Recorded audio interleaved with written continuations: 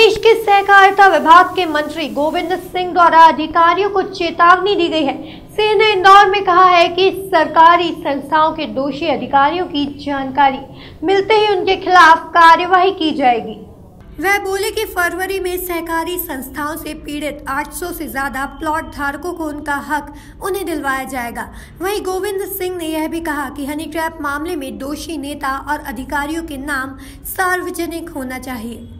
वास्तव में सरकार बनने के एक वर्ष बाद मैं यहाँ आने का समय समय निकाल पाया हूँ। और जो काम हमें करना चाहिए थे, लेकिन और कई कारणों से पार्लियामेंट के इलेक्शन होने से दो तीन महीने उसमें गए दो तीन सत्र विधानसभा के हो गए, उनमें व्यस्तता के कारण ज़्यादा समय नहीं दे पाए। जो जनता को और हमारे सहकारिता विभाग के से पीड़ित लोगों को जो हमें राहत देना चाहिए थे, समय पर ज़्यादा पूर्व में नहीं दे पाए, इसके लिए हम स्वयं थोड़ा सा अपने को खेद समझता हूँ, खेद व्यक्त करता हूँ इसके लिए।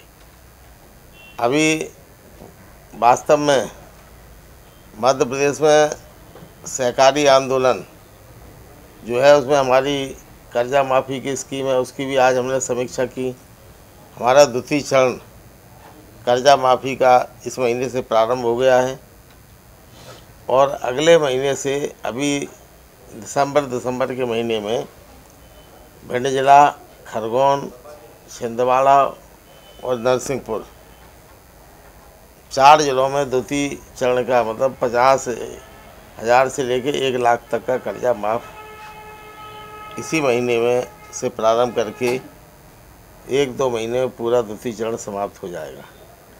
पहले चरण में बीस लाख से अधिक किसानों का ऋण माफ़ हुआ था, उसमें जो पूरी तरह से ओवरड्यू किसान थे, उनका कर्जा माफ़ हुआ था दो लाख तक का। और शेष जो, जिनका पात्र हो चुके जो ड्यू थे, उनका भी पचास हज़ार तक का कर्जा माफ़ हुआ था। इस बात को मैं स्वीकार करता हूँ कि हमारी हमें बहुत जल्दी करना था। जैसा कि हमारे नेता राहुल गांधी जी ने घोषणा की थी, हम दस दिन में कर्जा माफ़ करेंगे। माननीय मुख्यमंत्री जी, कमलनाथ जी ने शपथ लेने के एक घंटे के अंदर अंदर कर्जा माफ़ी के आदेश कर दिए।